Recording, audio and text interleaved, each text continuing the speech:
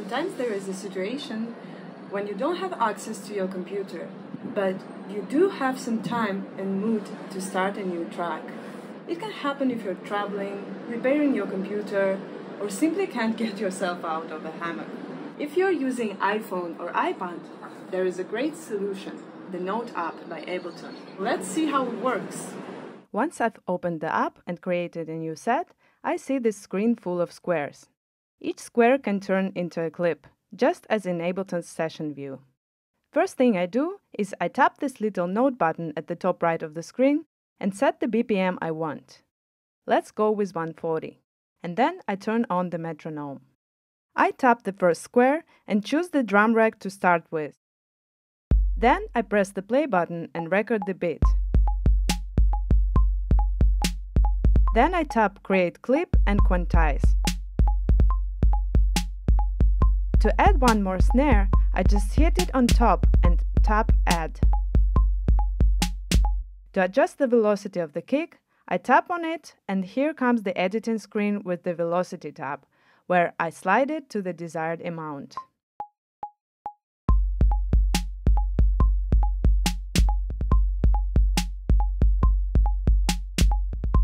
Now I can turn the metronome off. Next, I want to record hats using the repeat mode. 116 grid works great here.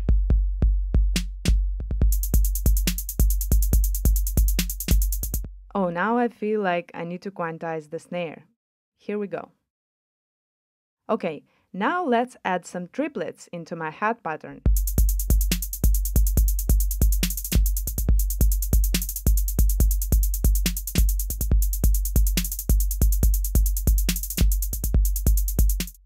And adjust the velocity so it sounds more groovy.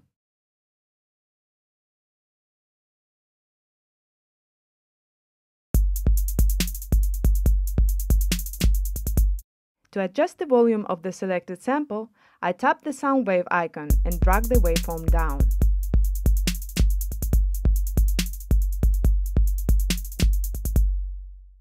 Let's add the second clip.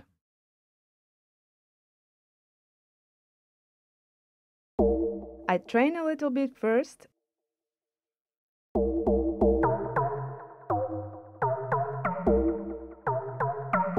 And adjust the parameters of the sound.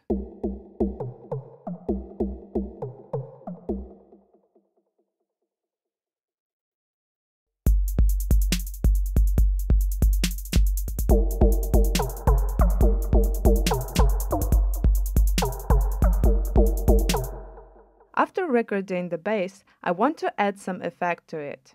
I go to FX1 tab. There's a delay initially, but I want to change it for something different. I will use the saturator and set the parameters for this effect.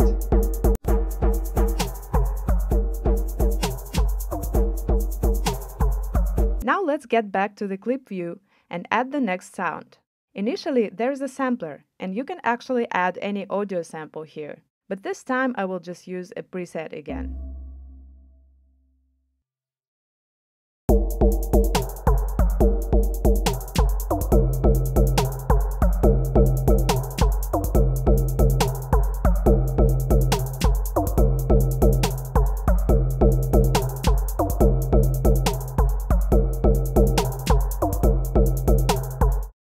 Can see only three rows of clips, but you can add more. Simply drag the screen to the right and press this plus button. Let's add another sound.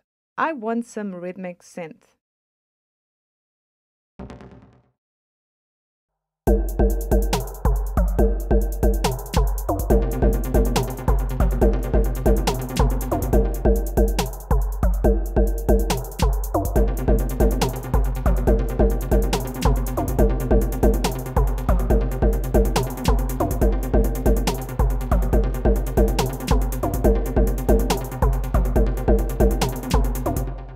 Good to me, but I also want to add some effect to it. It's actually very easy to record an automation. When you turn the knob, you can see the dotted line appearing on top of the notes. If you tap Add button straight away, it becomes the automation lane. The dot that appears next to the knob means that there's an automation there. Let's add the next sound.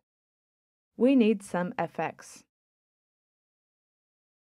I can find something suitable within Special Effects. I choose the preset and then tap Done. I can set the length of a clip before recording. I tap the plus here and set it to 4 bars.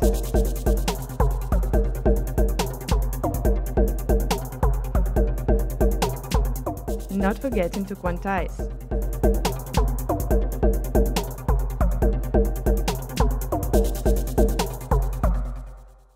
Still need more instruments. Let's add it.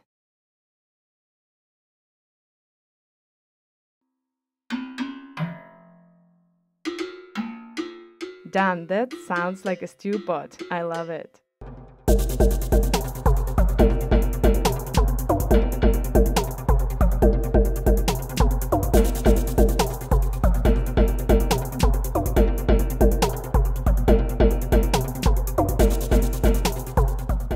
Want to change the length of the existing clip, I can duplicate bars like this.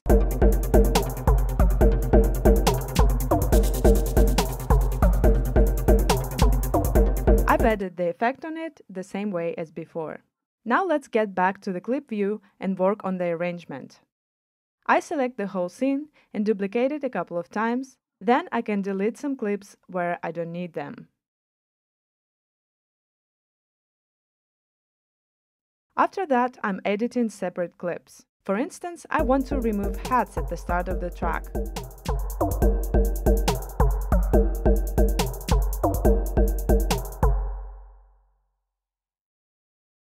There's also a way to duplicate the length of a clip really fast.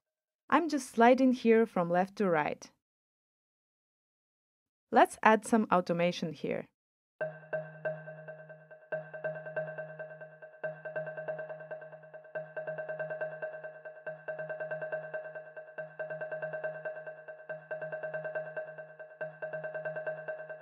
I would also record another variation of the effects. To do so, I'm pressing an empty square on my effects track and recording the new clip.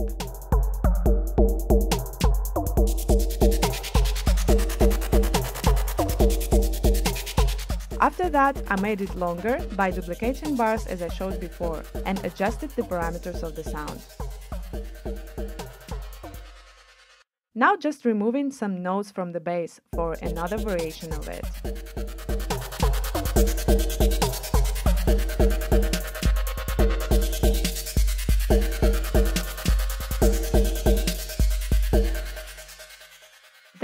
Then some more manipulations with the clips and synths.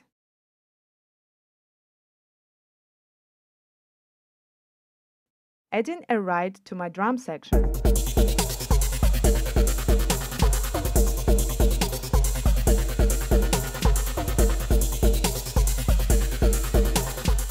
adjusting the velocity of freshly added rides.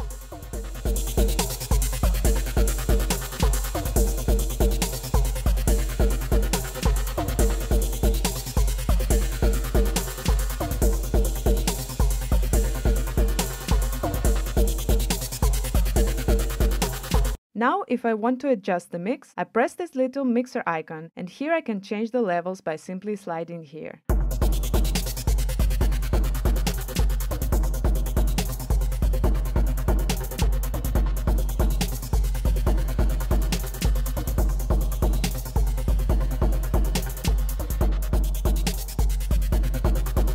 There are also solo and mute buttons in case you need them. So when my track draft is ready, I tap the note icon at the top right corner and press Export Audio. Then I select the format and tap Export. Now I have a preview of my track here.